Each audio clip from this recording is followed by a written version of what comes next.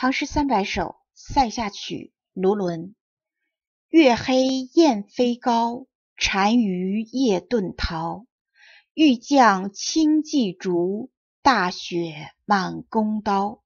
这首诗的意思是说，塞外的深夜，月黑无光，雁群飞得很高，匈奴敌寇在夜色掩蔽下悄悄逃跑。将军准备带领轻骑兵追击，刹那间，弓刀上就落满了雪花。再读一遍《塞下曲》卢纶。月黑雁飞高，单于夜遁逃。欲将轻骑逐，大雪满弓刀。